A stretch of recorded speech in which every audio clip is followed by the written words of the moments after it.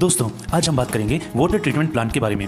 Water treatment plant में कुछ filters होते हैं, जो पानी को डायलिसिस में इस्तेमाल करने लायक बनाते हैं। सबसे पहले हम बात करते हैं सेडिमेंट फ़िल्टर के बारे में। सेडिमेंट फ़िल्टर को मल्टीमीडिया फ़िल्टर भी कहते हैं। मल्टीमीडिया फ़िल्टर पानी से 20 माइक्रोन तक के पार्टिकल्स को रिमूव कर सकता है।